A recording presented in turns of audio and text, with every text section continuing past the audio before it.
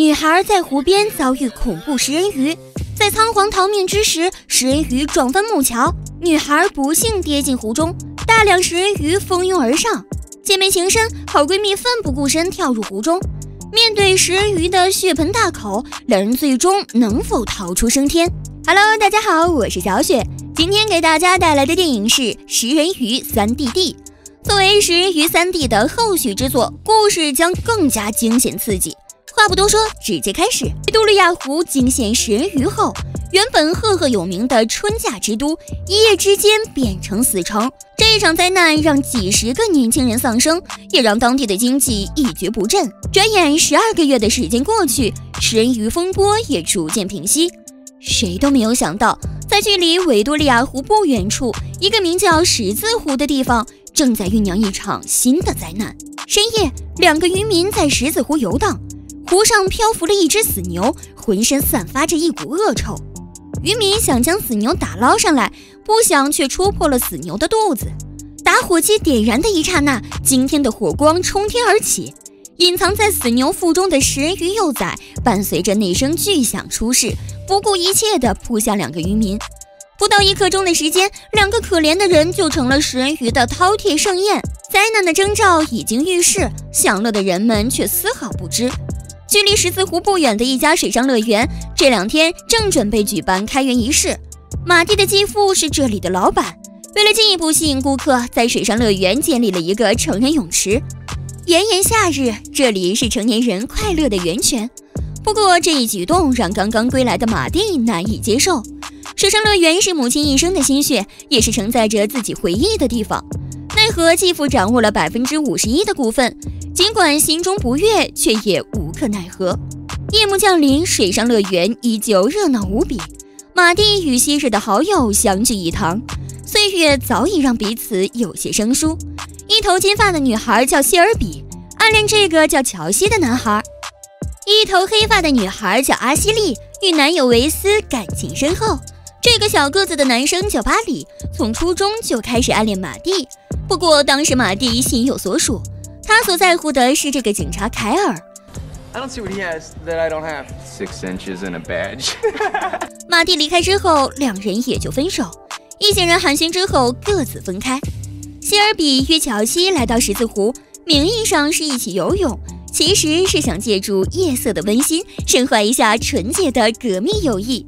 黑夜的十字湖波光粼粼，清晨的气息弥漫四周。两个年轻人在水中享受春光，正在干柴烈火的时候，希尔比突然觉得水里有东西，似乎已经钻进自己体内。是非之地不宜久留，两人匆匆穿好衣服离开。另一边的好闺蜜阿西丽与男友同样来到了十字湖边，此时正准备和男友在车上激战，男友激动地蹬掉了手刹。等到阿西里反应过来的时候，车子已经滑进了十字湖，大量的食人鱼幼崽伴随着湖水进入了车内，疯狂地撕咬着男友。阿西利惊慌失措，抛弃男友，爬出车子，向四周求救，却无人应答。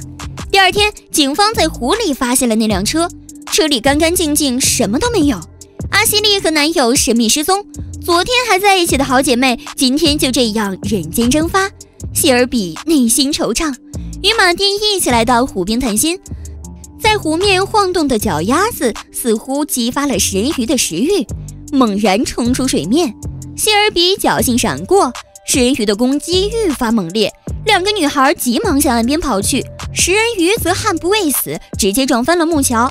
可惜谢尔比的大长腿原本能一步跨过，却因为心中的胆怯，生生自己绊进了湖里。大量食人鱼一涌而上，马蒂很快一步跳入水中。经过一番激烈的缠斗，总算是带着谢尔比爬到岸上。两人还没来得及喘口气儿，一条食人鱼突然窜出湖面。好在马蒂身手敏捷，双手死死捏住食人鱼，又是一番折腾，总算将这条食人鱼拍死。闻声而来的巴里认出了这条恐怖的鱼，此前他曾在网络视频中见过。视频是研究食人鱼的教授发的，几个人连夜找到了教授。教授家里就养了一条食人鱼。用来研究这种恐怖鱼种的习性。这种鱼拥有锋利的牙齿和坚硬的外表，能够轻易撞破镀锌钢板。食人鱼本名叫水虎鱼，生活在地下湖泊和河流中，已经存在数百万年的时间。它们对二氧化硫非常敏感。石子湖中之所以会出现食人鱼，就是因为马蒂家的水上乐园游泳池里的水净化后，产生了大量的二氧化硫。这些废水直接被排到石子湖中，久而久之就吸引了大批食人鱼聚集。从教授那里离开后，几个人来到水上乐园的排水口。马蒂戴好防护面具，跳入水中，很快就找到了排水口。铁网结结实实，并没有任何破损的地方。说明食人鱼还没进入水上乐园，意外却突然发生，一条食人鱼撞破防具。这一幕看得巴里十分着急，奈何自己不会游泳，只能干等。好在凯尔水性精湛，跳入水中救出了马蒂。几人心有余悸的各回各家。希尔比再次找到乔西，希望用爱情的力量驱赶内心失去闺蜜的悲伤。这样的好机会，乔西当然不会放过。就在两人快要达到巅峰的时候，希尔比体内似乎有东西窜出，整个人也开始口吐鲜血。乔西猛然觉得当下一凉，低头一看，一条食人鱼正在享受美味，忍着巨大的痛苦，乔西狠下心来，挥刀自宫。当希尔比再次醒来的时候，地上只留下了一条食人鱼。第二天，水上乐园成人泳池正式开业，马蒂的继父请来了一位特殊的客人。大名鼎鼎的救生英雄霍夫，看着下面乌泱乌泱的顾客，继父的脸上露出了得意的笑容。马蒂匆匆找到继父，说出了继父的不法之举。继父为了节省成本，自己在后面偷偷打了一口井，这口井直通地下湖泊，那里正是食人鱼主要栖息地。正是因为这口井的存在，大量的食人鱼才从地下湖泊被带出。